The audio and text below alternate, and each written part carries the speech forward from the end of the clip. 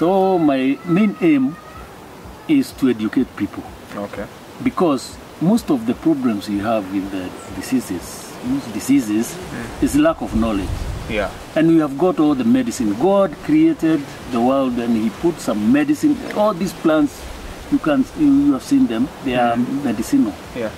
Everything has got something to do with medicine or to mm. help the body. Yeah. You know, there are some. If you take them in excess, you harm yourself. Yeah. But if you take them Have to know. moderately, Yeah. now you, you, you, are, you, are, you are okay. Mm.